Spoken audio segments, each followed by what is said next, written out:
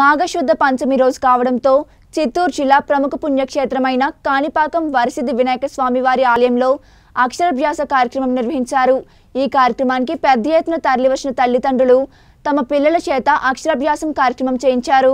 అగ్రపూజ్యుడైన గణపతి మరియు వ్యాస మహర్షి మొదటిసారిగా మహాభారతంను రచించారని సరస్వతీదేవికి మాఘ పంచమి పర్వదినంన సరస్వతీదేవికి పూజ చేసి ప్రారంభించారు.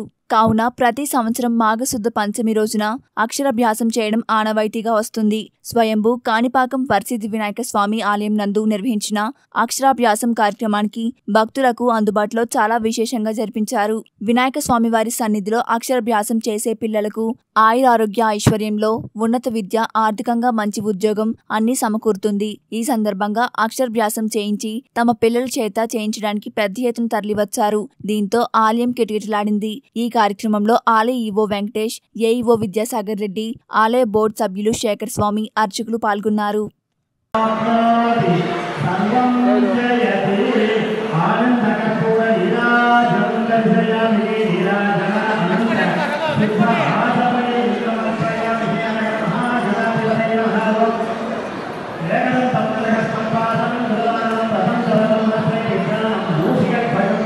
సర్వం